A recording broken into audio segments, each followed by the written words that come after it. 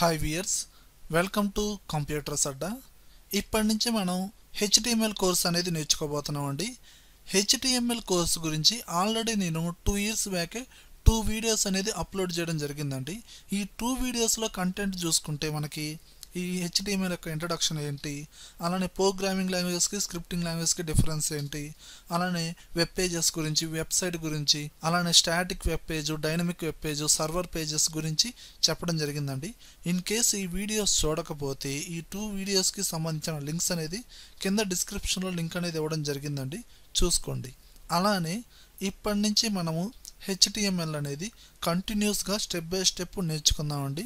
Daily ఏ concept అయితే చెప్తున్నానో ఆ టాపిక్కి సంబంధించిన నోట్స్ ప్రాక్టికల్ ప్రాజెక్ట్స్ కూడా కింద డిస్క్రిప్షన్లో లింక్ అనేది ఇవ్వడం జరుగుతుందండి. అలానే మీరు ప్రాక్టీస్ చేయడానికి డైరెక్ట్ కోడింగ్తో పాటు మీరు ఎక్స్ట్రాగా ప్రాక్టీస్ చేయాలన్న అవుట్పుట్ కూడా ముందుగానే ప్రతి వీడియోలో డిస్క్రిప్షన్లో లింక్ అనేది ఇవ్వడం జరుగుతుందండి. ఓకే వియర్స్ ఇప్పుడు మనము ఈ వీడియోలో మనం నేర్చుకునే కాన్సెప్ట్ ఏంటంటే ట్యాక్స్ అసలు ఈ ట్యాగ్ అంటే ఏంది? టైప్స్ ఆఫ్ ట్యాబ్ దీని యొక్క సింటాక్స్ ఏ విధంగా ఉంటుందో స్టెప్ బై స్టెప్ ఇప్పుడు మనం ఈ వీడియోలో నేర్చుకోబోతున్నాం.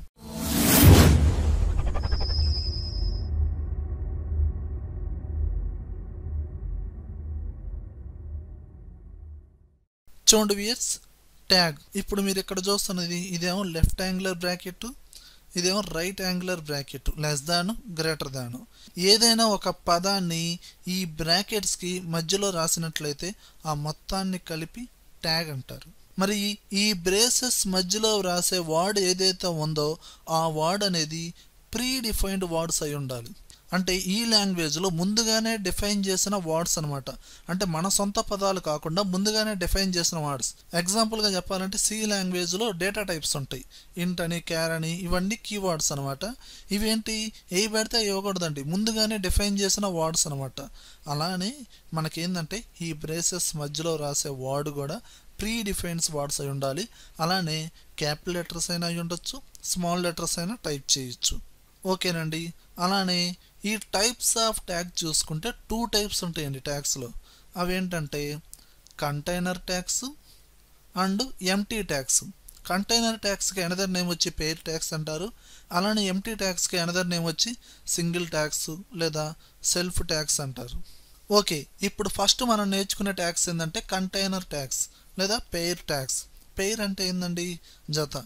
ఈ ట్యాగ్ అనేది రెండు రకాల ట్యాక్స్ని కలిగి ఉంటుందండి. అవేంటంటే ఓపెనింగ్ ట్యాగు క్లోజింగ్ ట్యాగు లేదా స్టార్టింగ్ ట్యాగు ఎండింగ్ ట్యాగు ఈ విధంగానే పిలుచుకోవచ్చు. మరి ఈ ఓపెనింగ్ ట్యాగ్ సింటాక్స్ అనేది ఎలా ఉంటుందంటే ఇందాక మనం చూసినట్టుగానే ఉంటుందండి. క్లోజింగ్ ట్యాగ్ వచ్చేదలకి మనకి ఇక్కడ ఫార్వర్డ్ స్లాష్తో స్టార్ట్ అవుతుందన్నమాట. ఓకేనండి? అండ్ నెక్స్ట్ ఏంటంటే ఎంటీ ట్యాగ్స్.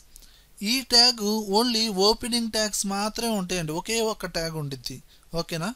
ఇది ఈ విధంగా ఉంటాయి. ఓకేనండి. ఇవి ఏంటి? ఇవి ఎలా యూజ్ అవుతాయి? ఏందనేది మనం నెక్స్ట్ వీడియోస్లో చెప్పుకుందామండి. ముందు మనకి అసలు ఈ కంటైనర్ ట్యాక్స్ ఎంటీ ట్యాక్స్ వీటి యొక్క సింటాక్స్ అనేది జనరల్గా నేర్చుకున్నారు. ఓకే? మరి ఎగ్జాంపుల్ చూసుకుంటే ఈ బ్రాకెట్ హారిజెంటల్ లైన్ ఇమేజ్ ఇవన్నీ ఎంటీ ట్యాక్స్. ఒక స్టార్టింగ్ ట్యాగే కానీ ఎండింగ్ ట్యాక్స్ అనేది ఉండవు. ఇప్పుడు మనము టోటల్గా సింటాక్స్ అనేది ఎలా ఉంటుందో ఇప్పుడు చూద్దాం. ట్యాక్స్ ఎలిమెంట్స్ యాట్రిబ్యూట్స్ ఇవన్నీ వాటి యొక్క సింటాక్స్ అనేది ఏ విధంగా ఉంటుందో స్టెప్ బై స్టెప్ చూద్దాం.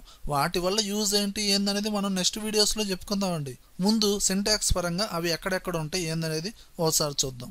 బేసిక్గా మనకి ఓపెనింగ్ ట్యాగు ఇది వచ్చి okay opening tag and ending tag వచ్చి మనకి ఈ ఫార్వర్డ్ స్లాష్ ఉంటుంది కదా ఇది వచ్చి ఎండింగ్ ట్యాగ్ ఓపెనింగ్ ట్యాగ్కి క్లోజింగ్ ట్యాగ్కి మధ్యలో ఉన్నదాన్ని ఇది స్టేట్మెంట్ అంటారు. ఓకేనండి. ఈ మొత్తాన్ని కలిపితే దీన్ని ఎలిమెంట్ అంటారు. అంటే ఓపెనింగ్ ట్యాగ్కి క్లోజింగ్ ట్యాగ్కి మధ్యలో ఉన్న స్టేట్మెంట్ మొత్తం ఇంక్లూడ్ చేస్తే ఇది మొత్తం ఎలిమెంట్ కింద వస్తుంది. అలానే ఇక్కడ చూడండి. ఇది ఓపెనింగ్ ట్యాగేనండి కానీ ఎక్స్ట్రాగా మనం కొన్ని ఆప్షన్స్ అనేది రాసాం.